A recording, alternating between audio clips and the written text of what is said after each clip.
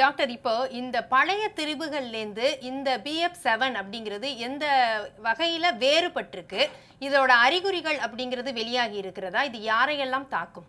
நிச்சயமாக பார்த்தோம் அப்படின்னா இந்த பிஎஃப் செவன் அப்படிங்கிற ஒரு புதிய வகை வேற்றுரு அப்படின்னு நம்ம சொல்ல முடியாது.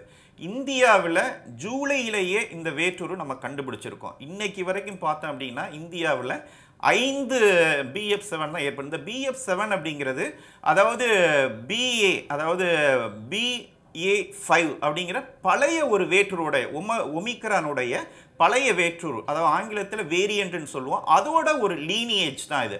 PA five two one point seven அதோட ஷார்ட் ஃபார்ம் தான் பிஎஃப் செவன் அப்படிங்கிறது.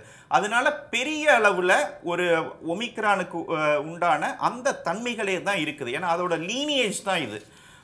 ஆனால் டாக்டர் ரவீந்திரநாத் சொன்னது மாதிரி இதனுடைய இதனுடைய அந்த தொற்று பரவல் விகிதம் அப்படின்னு சொல்லுவோம். ஆர் ஜீரோ ரேட் அப்படின்னு சொல்லுவோம். ஒரு மனிதனுக்கு தொற்று ஏற்பட்டுச்சு அப்படின்னா எத்தனை பேருக்கு இது தொற்றை ஏற்படுத்தலாம் அப்படிங்கிறதுல பத்திலிருந்து பதினெட்டு புள்ளி ஆறு ஆர் ஜீரோவோட விகிதம் வந்து பத்திலிருந்து பதினெட்டு புள்ளி ஆறு அப்படிங்கிறது தான் நம்மளுக்கு கொஞ்சம் அச்சத்தை ஏற்படுத்து ஏன்னா ஒரு மனிதனுக்கு இந்த நோய் ஏற்பட்டது அப்படின்னா இந்த பிஎஃப் செவன் ஏற்பட்டுனா அது கிட்டத்தட்ட ஒரு பதினெட்டு பேரை தாக்கிடும்.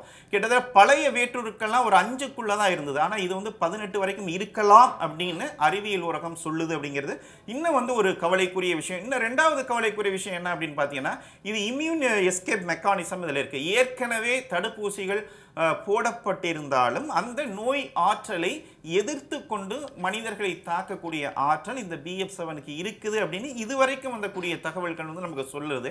அதனால இந்த பிஎஃப் செவனை குறித்து கொஞ்சம் அச்சம் தான் தெரிவிக்க வேண்டியது இருக்கு ஆனாலும் கூட இந்தியா போன்ற நாடுகள் வந்து பெரிய அளவில் அச்சம் இருக்க தேவையில்லை அப்படிங்கறது நான் பல காரணங்களை நான் சொன்னேன். நிச்சயமா நம்ம எச்சரிக்கையோட இருக்கணும். ரொம்ப அச்சப்பட தேவையில்லை.